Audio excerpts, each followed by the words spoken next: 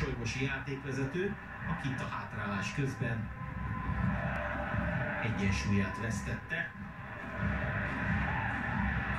Nohány kameraállásból van ez még meg,